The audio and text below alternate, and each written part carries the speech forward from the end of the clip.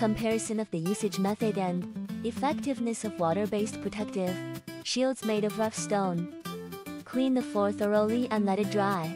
Suitable for matte floor and concave and convex stone with high water absorption, such as matte stone slabs, fireboards, antiqua boards, terrazzo, inorganic stones, etc.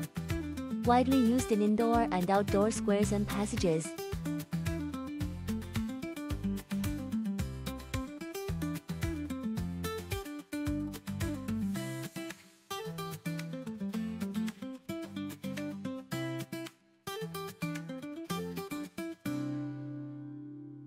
Anti-pollution test. Drip water, cooking oil, and soy sauce onto the ground separately, and use a tissue to wipe off old stains.